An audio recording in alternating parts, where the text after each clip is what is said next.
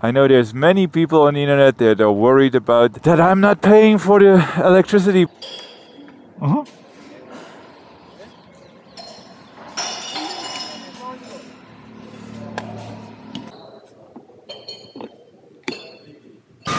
Yeah, charging. Again, I asked at the restaurant what they want to have for charging. I'll pay. I'll pay them money.